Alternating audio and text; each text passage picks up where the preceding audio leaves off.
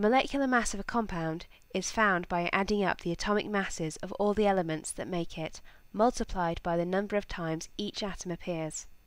For sodium chloride, NaCl, this is 1 each, so the molecular mass is 1 times the Ar of sodium, 23, plus 1 times the Ar of chlorine, 35.5. What is the molecular mass of sodium chloride? Pause the video whilst you work it out. The molecular mass of sodium chloride is 58.5 grams per mole. Did you get that right? Don't forget your units. Moles say only how many particles there are, not how much is in them. If 1 mole of chlorine molecules and 2 moles of sodium atoms react, they make 2 moles of sodium chloride atoms, like this. 2 add 2 really does equal 2, at least when two atoms are combining to make two end molecules.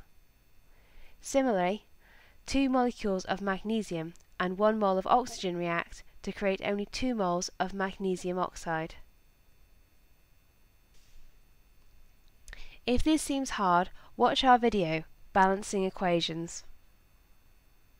We can use molecular mass of a substance to calculate the number of moles in a given mass. Let's say we have 1.5 grams of sodium iodide, NaI. How many moles is that? The relative atomic mass, or Ar, of sodium is 23 grams per mole. The relative atomic mass, or Ar, of iodine is 127 grams per mole. Thus, the molecular mass of sodium iodide is 23 grams per mole plus 127 grams per mole, which is 150 grams per mole. You may notice the molecular mass units are grams per mole. We can work out how many moles we have by putting in the mass and rearranging. This is also known as a triangular equation. You can write it like this. To find any one quantity, cover it up with your finger to give the rearranged equations. We want to find moles there are 0.01 moles of sodium iodide. In chemistry, we use moles to work out how much of each reaction to weigh out. This means we can make sure we get enough product and none of the reactants are wasted. It also makes it easier to get the product pure. Let's say you need 0.3 moles of silicon dioxide.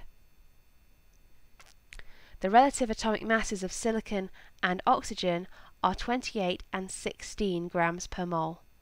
What mass do you need? Pause the video whilst you do your calculation. Ready for the answer? The MR of silicon dioxide is 28 plus 16 plus 16, which is 60 grams per mole you will need 18 grams of silicon dioxide to get 0.3 moles.